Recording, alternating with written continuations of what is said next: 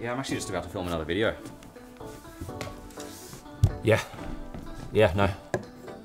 No, they actually, they got me back in. The last one was so good. So many comments. Guys. Yeah, uh, it's not supposed to be 10 minutes, but I reckon I can smash it in five.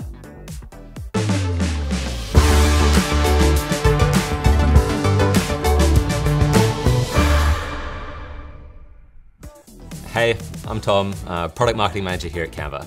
You may remember me from such videos as top tips for product photography and, well, actually that's all. But it's a good one, so make sure you check it out if you haven't already.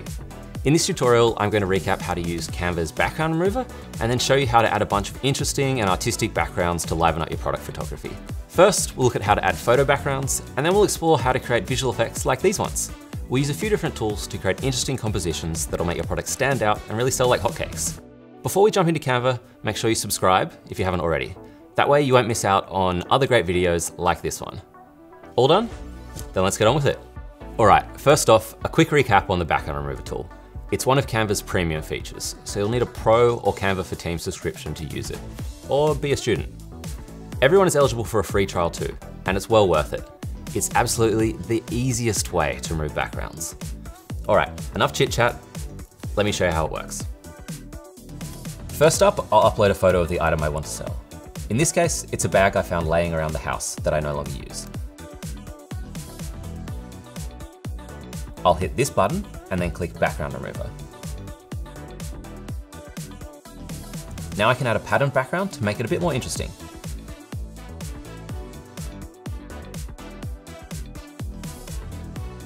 And I might use a filter on the bag to give it an artistic look.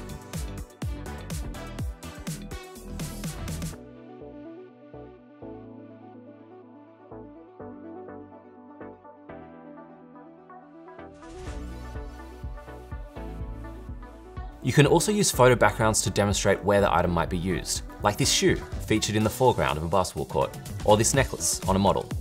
Let me show you how I created this look, as it'll come in handy if you're looking to sell jewelry on platforms like Etsy or eBay. To get started, I'll upload a photo of the necklace.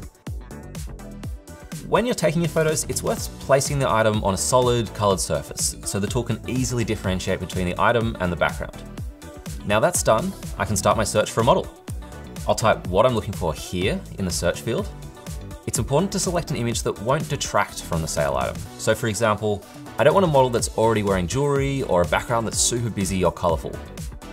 Something like this is great.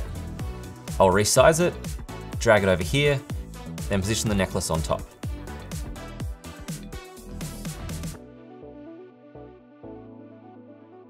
Okay, that's looking good, but I think it could do with a slight shadow.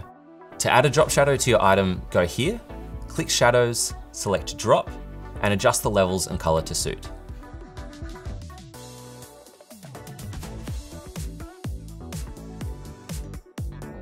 It looks so neat, I doubt anyone would pick up that it's actually been edited. Let me show you another design I created for some earrings.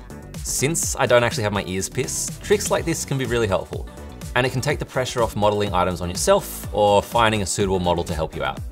All right, I think we've covered the basics. Time for some advanced techniques. In my previous video, I showed you how to make a shoe pop out of a frame like this. This time round, I thought I could show you how to add a person instead. A technique like this would be great for making an outfit stand out from the crowd. I can imagine seeing it on a recycled fashion app like Depop or on an Instagram account dedicated to selling pre-loved clothing. To kick things off, I'll start by adding this cool speckled background.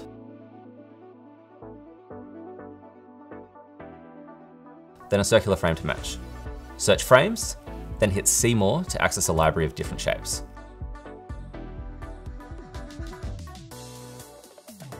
Once that's done, I'll duplicate the frame so I have another shape behind that I can fill with the opposite color.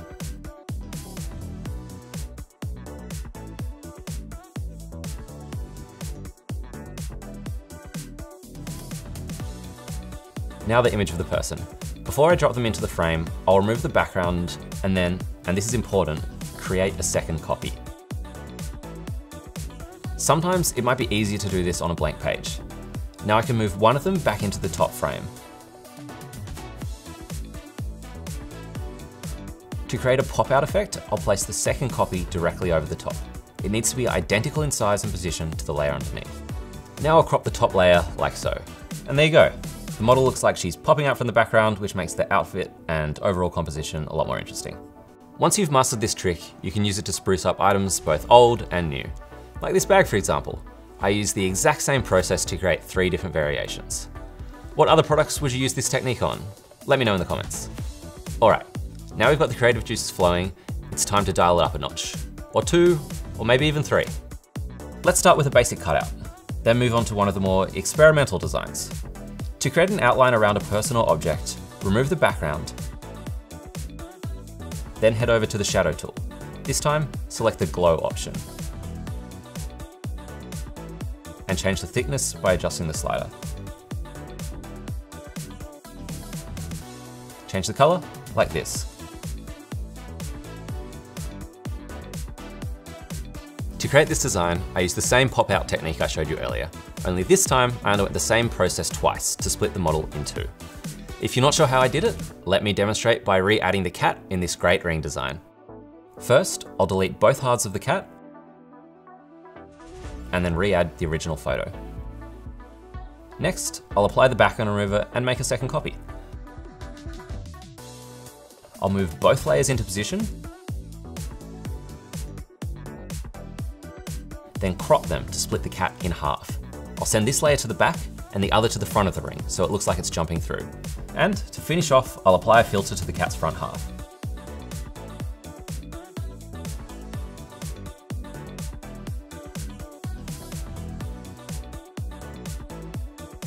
I went for this cool pixelated effect, but I reckon a number of these could work. Anything to disrupt the viewer and make them look twice. This would grab my attention, that's for sure. But it's pretty out there and may not suit the style of your brand. So let's end on another technique that's a bit more subtle, yet just as effective, layering. Now, I know we've used layering in previous designs, but not really to the same degree as something like this. For this design, I've used the overlapping technique for the cloud to pass through the handle of the bag and carefully considered the position of other features like the text and the stippled mountains. Notice how one line of the text sits in front of the bag while the other sits behind? This helps to create depth, while ensuring the words can still be read. The repetition of the word also works to create balance throughout the design. Okay, let's move on to the next design. How many layers do you think have been used here?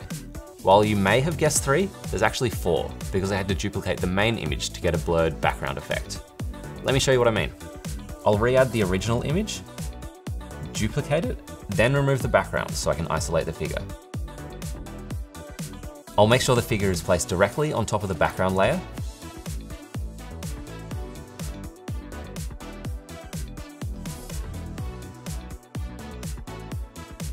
then apply the blur filter here.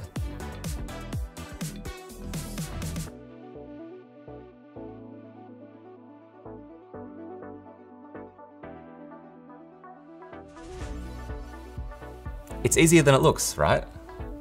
Same goes for this final design. I started with a background image, added my product on top, then the bubbles, and finally some text. While it may seem daunting at first, I recommend just getting in there and having a play. It's the quickest way to learn, except from watching videos like this one, of course. Let me know if you're feeling equipped with the tools and know how to make all of the designs I've shown you today, or if you have any questions. I'm hoping this and the other video I made just about covers it, at least for now. Unless, of course, you want me to show you how to use Canva's video background remover. Have you heard about that one yet? Type more in the comments if you want a video about that one.